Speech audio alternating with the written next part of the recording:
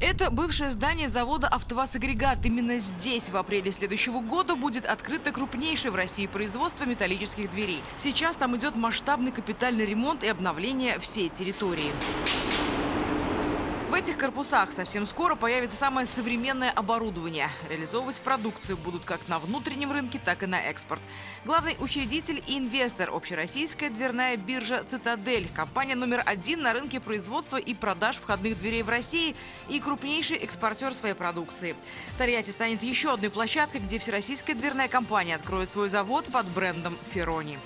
Здесь будет сосредоточено самое высокотехнологичное оборудование по производству входных металлических дверей в России. И мы рассчитываем, что в 2022 году данный завод э, станет лидером по производству входных металлических дверей в России и странах СНГ. Мы благодарим э, региональные власти и Министерство экономического развития в части поддержки нашего проекта по всем интересующим нас рабочих вопросам.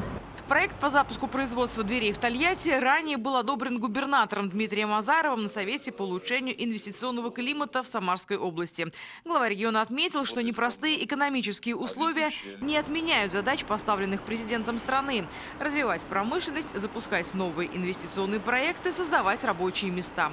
Все эти задачи компания-инвестор успешно реализует при поддержке правительства Самарской области. Ну, вы знаете, какую установку нам э, дает наш губернатор Дмитрий Ильич Азаров, что регион должен быть лидером, он должен быть самым комфортным для привлечения инвесторов.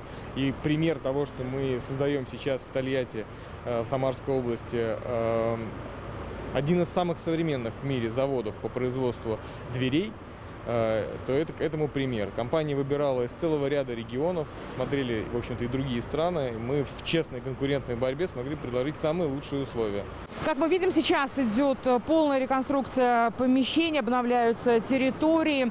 Э, в перспективе завод будет работать в две смены, далее перейдет на круглосуточный режим работы.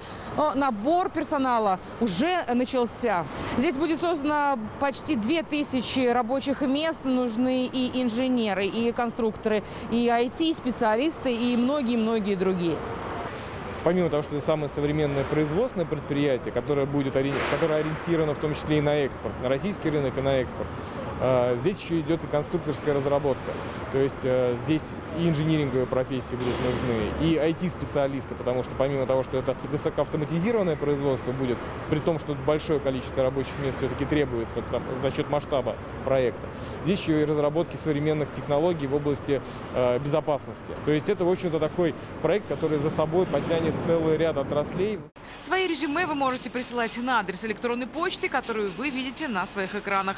Двери компании открыты для всех, кто стремится хорошо зарабатывать, развиваться и быть успешным.